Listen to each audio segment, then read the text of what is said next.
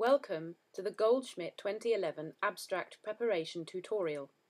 To submit an abstract, go to the conference website and click on Submit an Abstract in the top right hand corner of the page.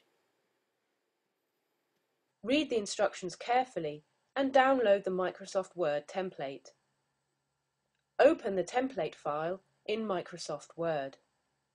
In the title box, type or paste in the title and ensure it is given the style Abstract Title.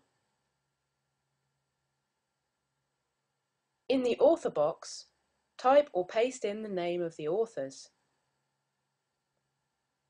The authors in our example work at different institutions, so we give them separate superscripted numbers. J.A. Dashwood is the corresponding author, so we mark him with an asterisk and remove any excess numbers.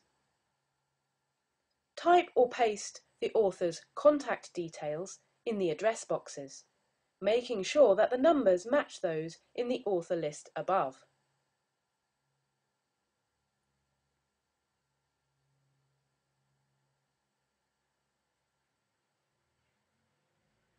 Remove any excess address boxes.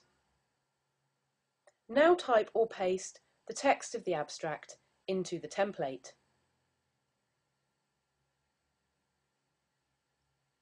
The section headings should be given the style section heading.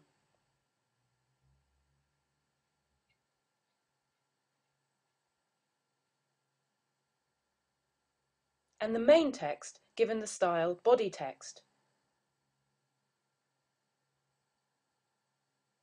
Insert any figures at this stage.